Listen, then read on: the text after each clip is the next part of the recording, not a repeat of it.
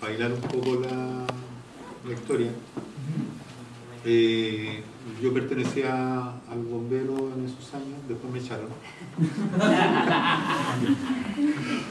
Eh, el, el carro había quedado aquí en la estación de ferrocarriles y con otro compañero más, que la verdad que no me acuerdo el nombre en este minuto, nos conseguimos una soga y nos amarrábamos la cintura y nos fuimos tirando por el cauce hasta llegar al frente de la casa del Guayo, de don Guayo Moreno. En ese momento estaba el cura Eugenio con una camioneta azul, una Toyota Dina que tenía, con gente arriba y no se quería bajar. Eh, a punta de garabato y un montón de cosas lo logramos sacar de, de la gente, la pasamos a la casa de, de la- del Guayo.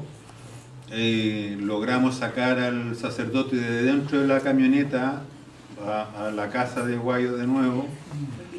Eh, lo tiramos por la ventana, lo tiramos por la ventana porque ya a esa altura el agua era impresionante.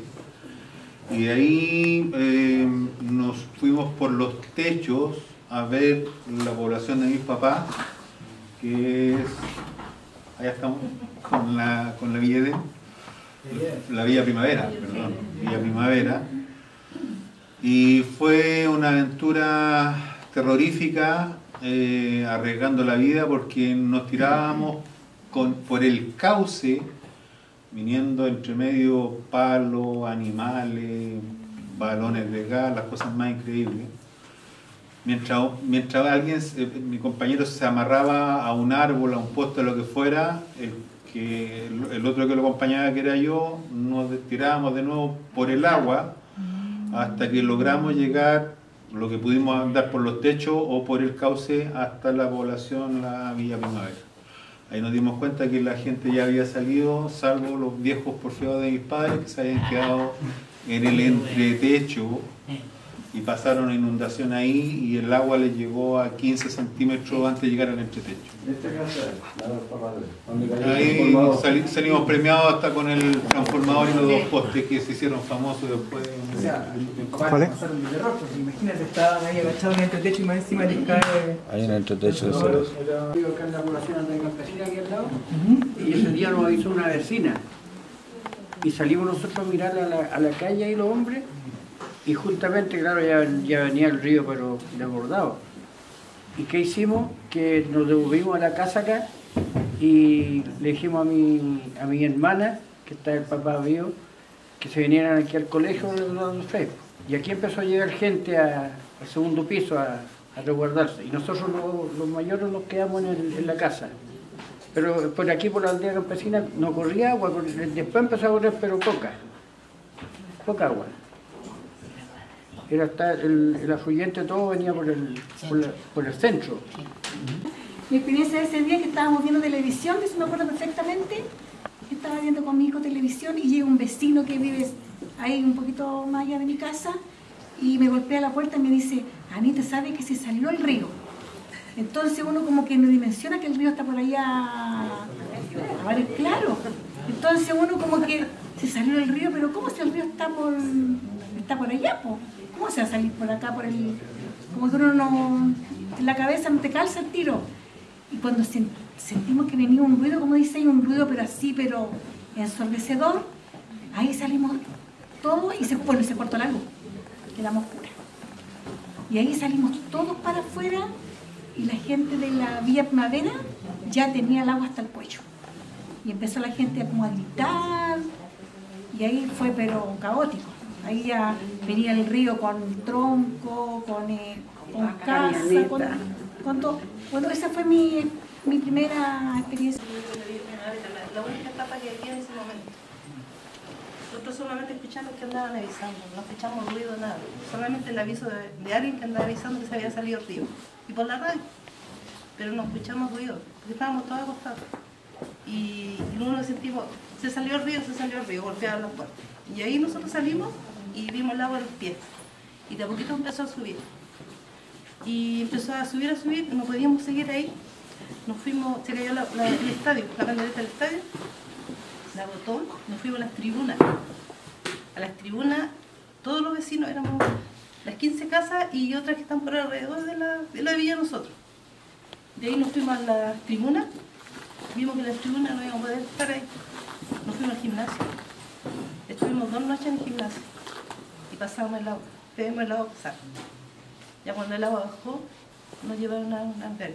Pero no sentimos ruido, solamente eh, que ya a- que el agua iba a llegar. En esta instancia también vamos a trabajar solamente con el relato de bomberos, porque ahí también hay, hay otra digamos, arista muy, muy interesante. Pero, por ejemplo, tenemos a la vecina acá que estaba justo, digamos, en, en- en la zona donde se desbordó el río. Donde casi, bueno, pero ese puente igual siempre, siempre Sí, es un no, punto aún importante. lo tenemos, pero el ruido, al llover mucho, el río que se escucha, pero era un ruido muy fuerte. así. Lo mismo que recuerda acá. El ruido era muy fuerte del río. Ya. Entonces aquí ya estamos en, Los 22. en las 22 A las 22 horas ya el río empieza a pasar hacia donde fue ya fuerte, ¿cierto? ¿A qué hora? A las 10, se- o sea, a las 10 se escucha el grito, a las 22 horas. Pero se escucha un estruendo, ¿cómo, cómo se dan cuenta que venía el río en el fondo? Le digo, me refiero, ustedes, claro, ustedes ya lo sabían, pero la gente que estaba en sus casas o la gente que está acá, digamos, en el pueblo, ¿cómo, cómo se enteraron que le llamaban, o canalieres. ya. Bueno, ese día siempre él dijo, esto va a reventar en cualquier minuto.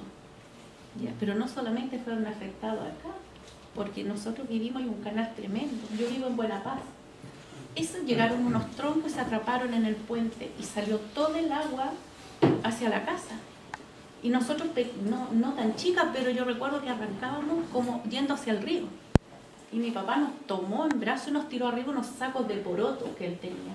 Arriba nos ten- mientras trabajaban rompiendo el puente para que pasara el agua. Pero claro, al romper también inundaron todas las casas de mis primos. O sea, en, mi- en la casa de cocina de campo no quedó ni una olla, nada, todo se lo.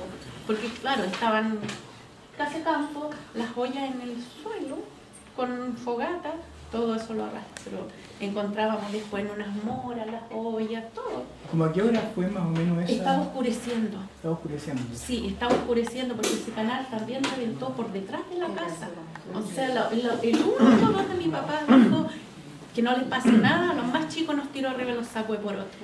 Hablamos entre las 5 y media y las 6 de la tarde. Claro, el agua estaba hasta arriba, yo creo que era hasta aquí. Y por eso el susto de él dijo, ya aquí yo salvo a los más chicos y los tiro arriba. Tenemos ahí bomberos. contarnos. Nosotros, nosotros recibimos el primer llamado eh, como a las 6 de la tarde. Seis y media más o menos anduvimos en la población La Maravilla. Recorrimos desde la primera casa que está adentro, hacia bajando, casa por casa para poder, viendo que el río ya, ese canal veía desbordándose, porque el canal ahí, de esa, de esa población pasa a los pies del- de las casas, de atrás de las casas. Entre la, ca- la cancha y la maravilla, los que conocen, ahí va el, el canal. Ese canal se iba desbordando y nosotros los bomberos comenzamos a recorrer casa por casa para salvar gente. Pero realmente la gente, bueno, nadie pensaba, yo creo que nadie se imaginó esto. Entonces, entonces fueron, eh, no, el carrizal está ahí adentro, mijo. Está hablando de la, la, la- la maravilla acá donde tienen, me parece que tienen los almazados, los, los camiones. Ya, entonces, eh, salvamos mujeres con niños porque los hombres no quisieron abandonar sus casas y las traíamos a la escuela de Casablanca. Y, y como le digo, ya eh, la gente no, no quiso obedecer y ya, ya los canales venían desbordando. El segundo llamado lo recibimos a las 8 y ya realmente el carro no se pudo meter para adentro. No se pudo meter porque ya venía ya sobre, sobre ya de la, de la calle. Y ya había salido. Ya había salido. Claro. Así que el otro día a las 7 de la mañana cuando llam- lo, hacían los otros llamados ya era imposible, imposible. Y el sector La Maravilla, ¿hacia dónde? Estamos hablando, el río se salió ya. Capital, eh, El río cuando vino el, el- el torrente fuerte de agua salió por entre ríos, por, por, por, la curva donde está la cuba de agua. sí, sí. Por el río también. En la curva, en la curva del puente, del puente Colorado, ahí fue el, el socavón grande que se vino. sí.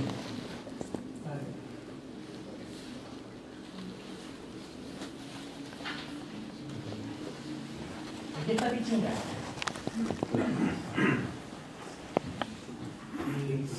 Pichinga está más bajo. La 25 provocadores. La 25 está Sí, la isla que hay en la Provocador, claro. Es una zona de protección en el fondo de terremoto. Ay, qué Yo tengo un poco trastocado lo que cuenta Juanito porque nosotros esa noche andábamos sacando gente aquí en, en los canales.